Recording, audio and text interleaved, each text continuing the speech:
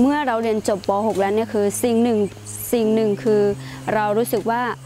อ่าเราจะต้องเราเสียใจนะที่จะต้องห่างจากพ่อแม่ห่างจากโรงเรียนที่เราอยู่มาตั้งแต่เด็กค่ะเหตุทำไมถึงเราได้เรียนในโรงเรียนเห็นไหมคะเพราะว่าเราได้รับความช่วยเหลือจากองค์ฟองค่ะ ที่ให้ความที่ให้การสนับสนุนของเรา จนเราเนี่ยได้มีโรงเรียนขึ้นมาค่ะ แล้วก็ให้เราได้ศึกษาต่อไป เรื่อยๆจนในจนถึงจนจนจบปริญญาตรีค่ะ ซึ่งในหมู่บ้านรอบๆ ในละแวกที่อยู่ใกล้เคียงนะคะ ซึ่งไม่ไม่ได้มีโอกาสเหมือนอย่างที่หนูได้มีโอกาสหาได้เรียนหนังสือค่ะ เราอยากจะให้เขาได้มีความรู้ สามารถที่จะอ่านได้เขียนได้เพื่อพัฒนาตัวเองต่อไปในอนาคตค่ะ ดิฉันชื่อบุษบงเป็นคน เป็นปากยอ ก็สาเหตุที่เลือกอาชีพนะคะ เพราะว่าอยากจะให้เด็กๆที่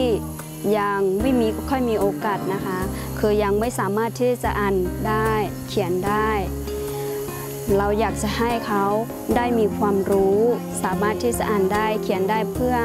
พัฒนาตัวเองต่อไปในอนาคตค่ะ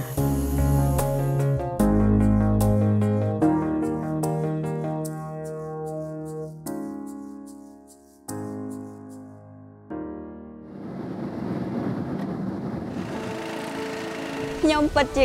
ខុសពីក្មេងស្រីដទៃទៀតដោយសារខ្ញុំមានប្រភពមកពីគ្រួសារក្រីក្រខ្ញុំស្រឡាញ់ការសិក្សាការងារនិងការខិតខំប្រឹងប្រែង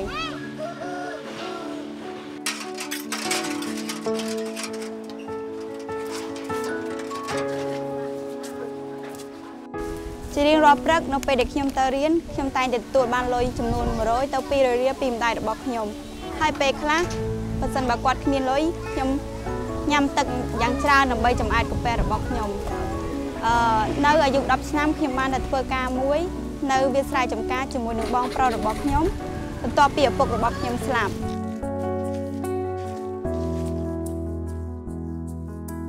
តួការឧបត្ថម្ភពីអង្គការកម្មាមេគង្គតាមរយៈអ្នកស្រីសុផា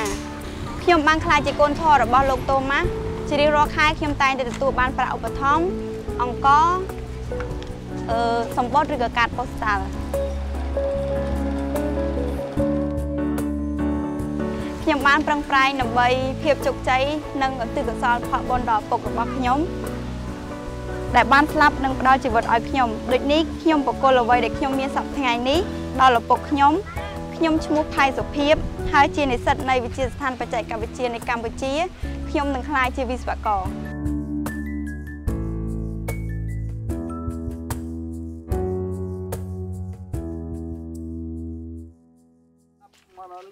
យកមកស្ទូអាក្លេណែរាប់អនាគតកាលពីខ្ញុំនៅតូចឪពុកម្ដាយរបស់ខ្ញុំក៏តែងប្រាប់ខ្ញុំថាគាត់អត់មានលុយអត់មានទ្រព្យសម្បត្តិឬក៏ដីធ្លីអីដើម្បីទុកចែកឲ្យខ្ញុំទេហើយអឺអញ្ចឹងឱកាសរបស់ខ្ញុំដើម្បីខ្ញុំអាចរីកចម្រើនទៅបាន គឺខ្ញុំត្រូវតែខំប្រឹងសិក្សារៀនសូត្រអឺការនៅពេលហ្នឹងផ្លូវទៅសាលា គឺវាឆ្ងាយហើយអឺ លំបាកទៀតពេលរដូវប្រាំងមានដីហុយច្រើនហើយពេលរដូវវស្សាអឺផ្លូវឡើងបែកភក់វល់ហើយអឺសំណាងល្អនៅឆ្នាំ2008ខ្ញុំបានត្រូវបានទទួលមករស់នៅមណ្ឌលអង្គការកម្មាមេគង្គនៅស៊ីសផុនហើយនៅទីនោះហើយដែលខ្ញុំបានអឺរស់នៅជាមួយក្មេងអឺសិស្សមកពីគ្រួសារក្រីក្រដទៃទៀតប្រហែល10នាក់ហើយ នៅអង្គការកម្មាមេគង្គហ្នឹងខ្ញុំបានអឺបានរៀនច្រើនហើយបានស្គាល់គេច្រើនហើយអង្គការកម្មាមេគង្គគឺជា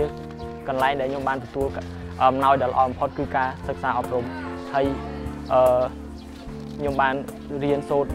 ស្គាល់អ្នកដទៃទៀតខ្ញុំឈ្មោះសែនស៊ីណែតបន្តការសិក្សានៅទីក្រុងភ្នំពេញហើយនឹងបានទទួលហារូបករណ៍រដ្ឋនៅមហាវិទ្យាល័យសុទ្ធសាស្ត្រ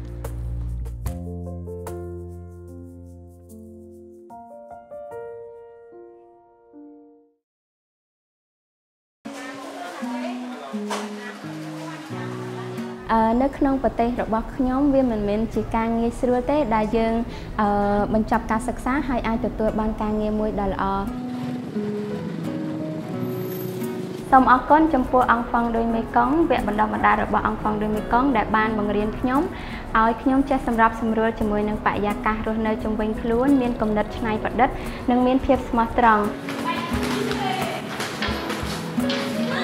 នាងខ្ញុំពិតជាសប្បាយចិត្តខ្លាំងណាស់ក្រោយពីបញ្ចប់ការសិក្សាហើយខ្ញុំអាចទទួលបានការងារធ្វើនៅក្នុងក្រុមហ៊ុនដ៏ធំមួយអឺសម្រាប់ការ transfer លុយនៅក្នុងស្រុកហើយដោយសារតែការងារល្អរបស់ខ្ញុំខ្ញុំក៏អាចមានលទ្ធភាពនៅក្នុងការបង្កើតគម្រោងអឺសម្រាប់ជួយទៅដល់អឺនិស្សិតដទៃទៀតដែរនាងខ្ញុំឈ្មោះមានស្រីម៉ៅនាងខ្ញុំបដិញ្ញាថានឹងធ្វើការផ្ដល់ឱកាសឲ្យក្មេងៗដទៃទៀត បានរៀនសូត្រដូចជាអង្គហ្វង់ផ្ដល់ឱកាសឲ្យខ្ញុំកាលពី10ឆ្នាំមុនដែរអ្នកបានបង្រៀនខ្ញុំឲ្យស្គាល់សេចក្តីស្រឡាញ់ហើយនឹងបានផ្លាស់ប្ដូរជីវិតខ្ញុំឲ្យនាងខ្ញុំមានសេរីភាពសូមអរគុណ